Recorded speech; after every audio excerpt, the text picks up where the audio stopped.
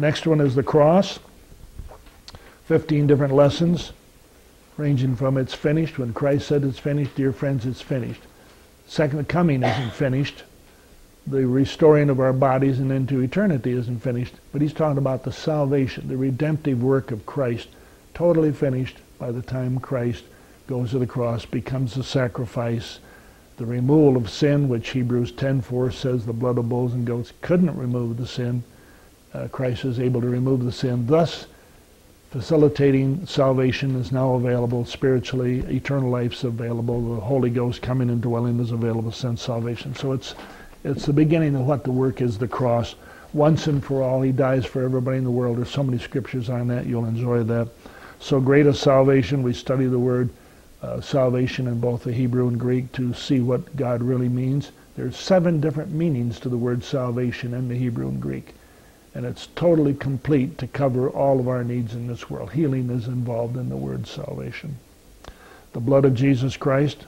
We study all the words used in the New Testament on the blood and some in the Old to understand why it had to be the blood, why it couldn't be done some other way it had to be the death of somebody who had lived the word, overcome sin, and then voluntarily gave themselves as a substitute. And only Christ or God coming, taking on that flesh body could do it. And so the blood is a very, very important study.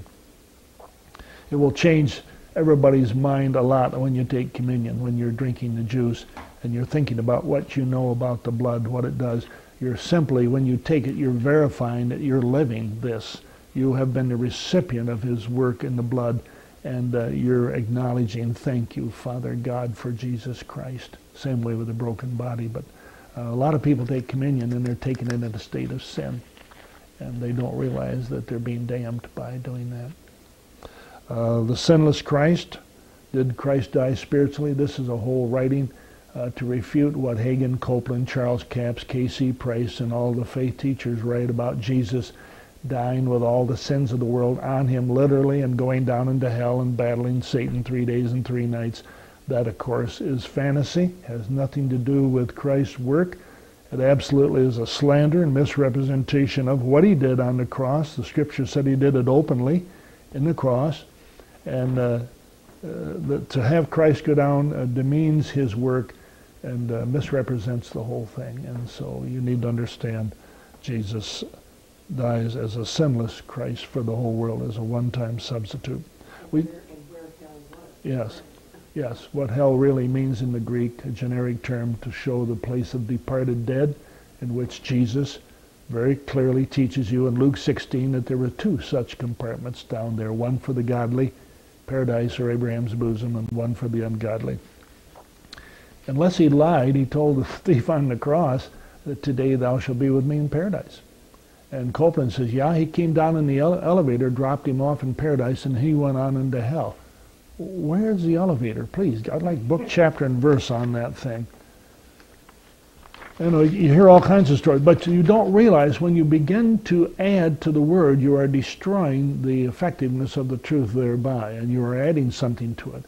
And Deuteronomy and to the Jews, Israel, and Revelation to the church says if you add anything to God's word, you're cursed you lose your part in that eternal life. If you take anything away, you want to just say what God says. That's good enough. It works.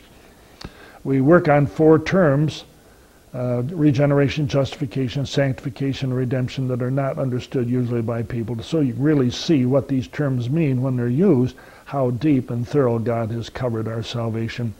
God's timeline in dealing with man from Old Testament to New, and the four different types of steps that, that he went through before Christ, or before Israel, then with Israel, then with Jesus coming, and then after the New Testament church starts.